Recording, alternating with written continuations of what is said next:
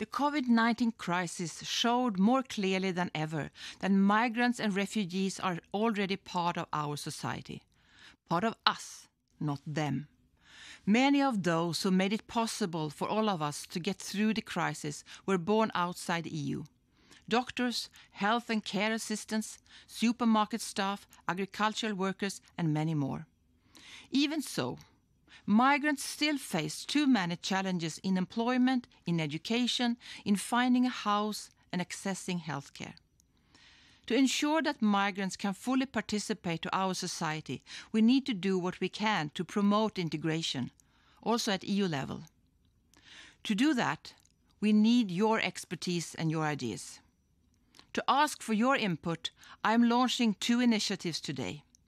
Firstly, a public consultation to ask you what should the Commission do to promote integration and social inclusion. We want to hear your voice. What challenges do migrants face when it comes to integration? What concretely can we do at EU level? I ask all of you, please reply to the public consultation. Share it with your friends and your community.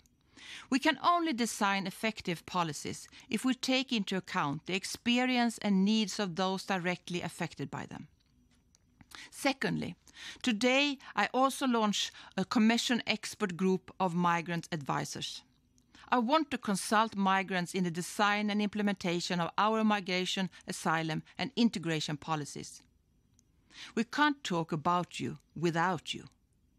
Were you born outside the EU? Do you have personal and professional experience when it comes to integration? Do you have good practical ideas that can be carried out? Then I invite you to have a look at the call for applications to become a member of the expert group of migrant advisors. Check for the call for applications and send us your letter and CV. I look forward to hear from you.